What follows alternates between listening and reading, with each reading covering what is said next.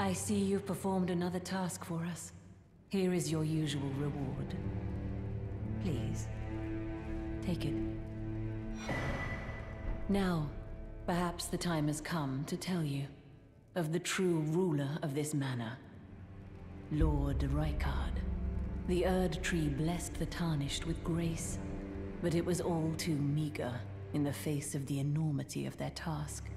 The Tarnished were forced to scavenge, squabbling for crumbs, like the Shard Bearers vying for power in the wake of the Shattering. Our Lord, indignant, has refused to scurry about, fighting over what miserly scraps they allow us. If the Erd Tree, and indeed the very gods, would debase us so, then we are willing to raise the banner of resistance, even if it means heresy. We at the Volcano Manor, under Lord Rykard, have sworn no rest until it is done. If you follow this heroic path, one day the Lord will see you.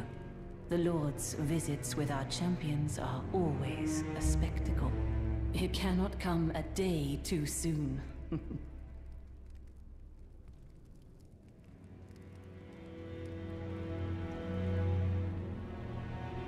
if you follow this heroic path, one day the Lord will see you. It cannot come a day too soon.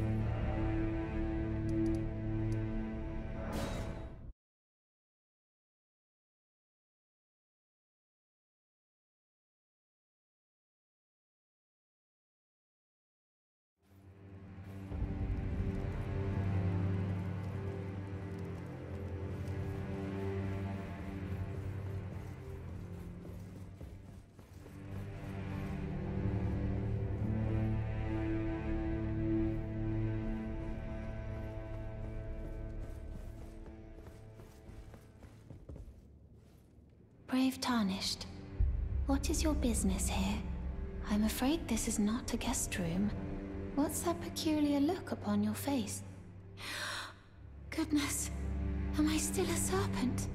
Oh, how dreadful. How dreadful indeed. Oh, forgive my distress. I ought to be thanking you for treating me as usual.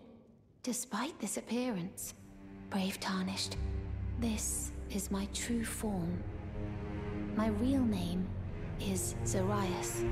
Please forgive the deception. Do understand. This duplicity is my own doing. Lady Tanith speaks no falsehoods. And the Volcano Manor is just as it seems. Lady Tanith is my mother. I am told I was born by the grace of a glorious king. That my mother cherishes this form I inhabit. I am proud of what I am. But people are cruel. If they saw my true form, they wouldn't speak to me.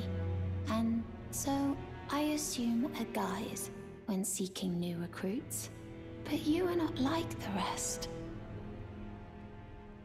My serpentine form and the name Zorayas were secrets, known only to Lady Tanith and I. Now I share the secrets with you as well. Please keep them safe from anyone else.